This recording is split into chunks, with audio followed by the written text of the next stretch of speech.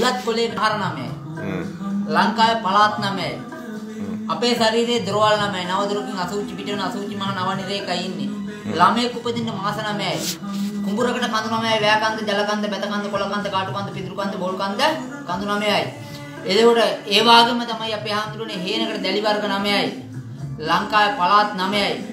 මේ ලංකා පළාත් නමයි ලෞතුරා බුදු කෙනෙකුගේ ගුණ නමයි දැන් පවතින සල්ලි කොළ නමයි රුපියල් 10 කොළ ඉඳලා 200 කොළ ඉඳලා 5000 කොළට එනකොට රුපියල් සල්ලි කොළ නමයි ඒ වගේම අපේ හාමුදුරුවෝ මේ නවයේ තියෙන වටිනාකම් මේ විදිහට ගොඩාක් රාශියක්. මොකද අද මේ නවයේ මේ ග්‍රහ මණ්ඩලයේ ග්‍රහය නමයයි එතකොට මේ තව ගයින ග්‍රහයෝ ඉන්නවා. ඒ වගේම සෞර ග්‍රහණ නවග්‍රහ මණ්ඩලය කියලායි කියන්නේ. ඉතින් මේ වාගේ අපේ ආන්දරනේ නවයේ වටිනාකම් ගොඩක් තියෙනවා. ඒ හින්දා තමයි මම මේ ගණිතේ ඉලක්කම් නමය ගැන මේ විදිහට කිව්වේ. නමේ නඹරුළු අට අනතුරුළු.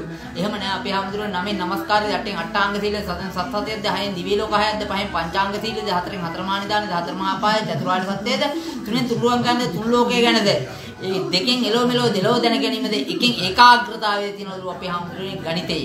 අද මේ වගේ දේවල් දන්නේ නැහැ. මේ වගේ දේවල් මම මේ ඉගෙනගෙන තියෙන්නේ අපේ ස්වාමීන් වහන්සේ වාගේ මහා රහතන් වහන්සේලා වාගේ අය මම ආශ්‍රය කරන නිසායි. ඒ හින්දා අපේ හැමෝටම මම මුලින්ම අයන්න කිව්වේ ශ්‍රී නාගවනාරාම විහාරස්ථානයේ වෙලගාන දිවුල පිටියේ. එතකොට අපේ ආන්දරන එතෙන් ඉඳලා මෙතෙන්ට එනකොට මම පන්සල් 25කට දිවෙන්න පුරා යනවා. මේ පන්සල් 25 මම ආශ්‍රය කරන්නේ මහා මේ ස්වාමීන් වහන්සේලාට මම සදා ණය ගැති ණයයි.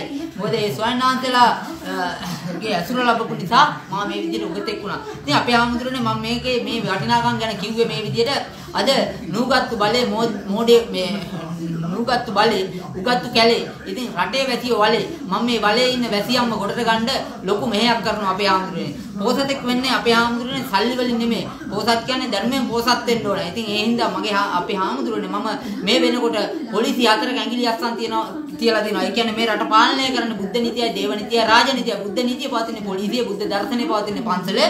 දර්ශනය කියන්නේ ක්‍රියා මේ පෙන්වා දෙන දෙයක්, නීතිය කියන්නේ ක්‍රියාත්මක කරන දෙයක්. ඒතකොට අපේ ආන්දරුනේ බුද්ධ නීතිය පවතින පොලිසිය, දේව නීතිය පවතින උසාවිය, රාජ නීතිය පවතින පාර්ලිමේන්තුව. අද මේ වගේ දේවල් දන්නේ නැති නිසා අද රටම අඳුරේ. අපේ ස්වාමීන් වහන්සේ නිසා මම මේ දේ රට ලෝකෙට හෙළි කරලා දෙන්න මම ඡන්දෙ තියන්න දෙන්නේ අපේ ආන්දරුනේ. ස්වාමීන් වහන්සේ මින් ඉදිරියට ඒ කියන්නේ 2020 වෙනකොට පාර්ලිමේන්තුව අනුරාධපුරයට ගෙනව අටම ස්ථානය කියන අටම එකම ස්ථානය 16ම ස්ථානය කියන්නේ එතකොට මේ මධ්‍යස්ථාන 12 නැවත ඉදි කරනවා අපේ ආමතුර රජමා විහාරයට අපේ ආමතුරනේ මේ ස්පොන්සර් නැතුව අපිට දර්ශනය දකින්න බෑ. බුද්ධ දර්ශනය දකින්න ඕන. බුද්ධ ආගම නෙමෙයි බුද්ධ දර්ශනය. දර්ශනය කියන්නේ විනිවිද පේන දෙයක්.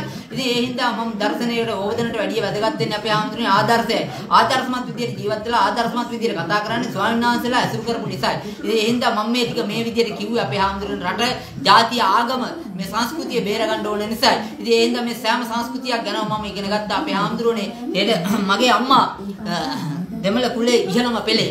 ඒ වගේම මගේ පියා සිංහල කුලේ ඉහළම පෙළේ. අපේ ආන්දරුව අද මේ වගේ දේවල් අද හුඟක් අය දන්නේ නැති නිසා මේ අද මේ සිංහල දජේ ලංකාවට ආවේ කවද්ද කියලාවත් දන්නේ නැහැ. සිංහල දජේ ලංකාවට මෙන්න මේ දවසේ අපේ ආන්දරුවනේ. මොප්පුර සපත් වන දින අපේ මුනි රජයේ ලක්දිව පැමිණ සිය ගජබා පුත් විජය යක්දන් නසා ලැබගෙන සිරි ලක රජයේ ඉක්මන් පා නැගුවේ ගරු සිංහල දජේ.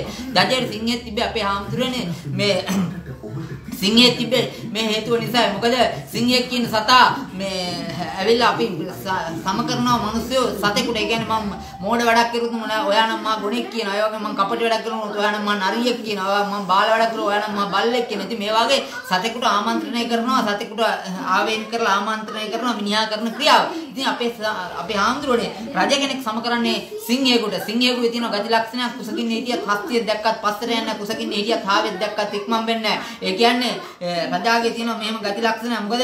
යුතුයකම් කරනවා නම් අම්මා ලොකුයි කියලා වැඩියෙන් දෙන්නෙත් නෑ වැසියා කුඩයි කියලා අඩුවෙන් දෙන්නෙත් නෑ ඒ වගේම තමයි ඒ කියන්නේ හාව කුඩයි කියලා ආවේග කුඩත් නෑ හස්තිය ලොකුයි කියලා ආවේගය ලොකුත් නෑ ඒ වගේම අටලෝම අටලෝ දහමට කම්පා නොවි සංසාර ගමනේ යන කෙනෙක් තමයි මේ රටේ නායකයෙක් කියන්නේ. ඉතින් ඒ හින්දා අපේ ආම්දුරනේ අද මේ නායකත්වය දුර්වල වෙලා තියෙන නිසා මට මේ ටික මේ ඔබ වහන්සේට මේ විදිහට කියා පෙන්වන්න වෙන්නේ ඔබ වහන්සේ තමයි මාව මේ විදිහට දැනුවත් කරේ. ඒ දැනුවත් කරපු ඒ ධනෙ ධනෙ තමයි මගේ උපතින් හිඟන්නෙක් වෙන්න පුළුවන් මරදී හිඟන්නේ නැහැ. ඒ මිනිහා මේ ලෝකේ කිසිම දෙයක් දැකලා නැහැ. උපත් එක්ක හිඟන්නේ වෙන්නේ අපි නොදන්නා නිසායි. මරදී හිඟන්නේ මේ වුණොත් එයාගේ තියෙන දුර්වලතාවයයි. එහෙමනම් මම මේ මේ වෙන විට ඔබ වහන්සේට බුදු බවත් වෙන්න තමයි මම මේ විදිය උගතෙක් වුණේ ස්වාමීන් වහන්සේ. ඔබ වහන්සේ නිසා තමයි මම මේ දේ ලෝකෙට හෙළි දක්වන්නේ. ඉතින් ඒ හින්දා අපේ හාමුදුරනේ ඔබ උගතී මේ මරණ හිඟන්නෙක් නොවෙන්න ඕන සල්ලි වලින් නෙමෙයි දැනුමෙන් දැනුමෙන් හිඟන්නෙක් උනේ මේ මිනිහා මේ ලෝකේ සෑම දෙයකම හිඟන්නෙක් වෙලා. ඉතින් අපේ හාමුදුරනේ වැඩ 64ක් ඉගෙන ගත්ත භාෂා 18ක් කතා කරනවා. අපේ හාමුදුරනේ මං හරකට නහ විදිනවා කියලා